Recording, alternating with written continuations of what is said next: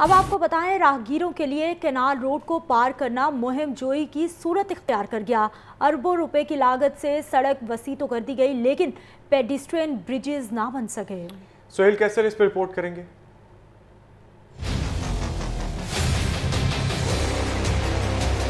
धर्मपुरा से सहाफ़ी कॉलोनी तक कैनाल रोड को दो अरब पचास करोड़ रुपए की लागत से कुशादा और वसी शाहरा में तब्दील कर दिया गया है। मंसूबा ये भी था कि पैदल चलने वालों के लिए चार पेडेस्टेरियन ब्रिजेस भी बनाए जाएँगे, लेकिन अभी तक सिर्फ़ एक गुजरगाह ही बन सकी है और महसूस ये होता है की बाकी गुजरगाहों की तामीर का मनसूबा ठप हो चुका है। शुरू किया था, लेकिन बीच में इन्होंने आधा काम छोड़ दिया हुआ है। और दूसरी बात यह ये रोड सब बहुत ज़्यादा ख़तरनाक हो गए हैं।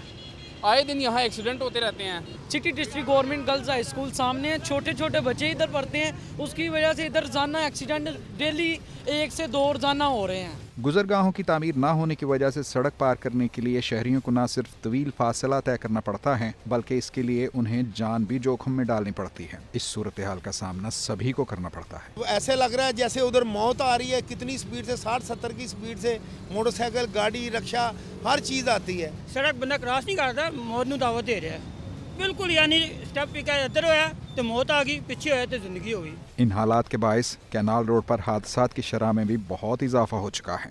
हमारे यहाँ तरक्याती मनसूबों के हवाले से भी अजीब ही सूरत हाल पाई जाती है।